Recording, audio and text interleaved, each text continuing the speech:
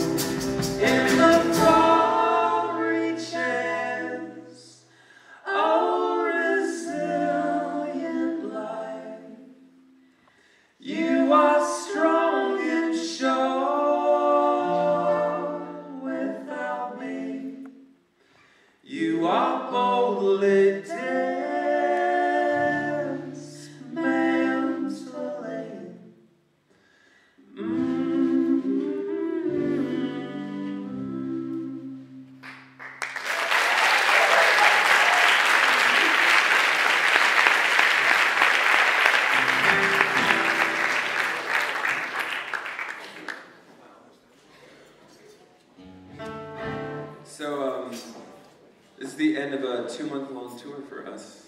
And uh, as you can imagine, we're sad and then we're really happy, actually. So, because it's kind of exhausting touring. Um, so, so this, is, this is a wonderful homecoming. Thanks everyone for coming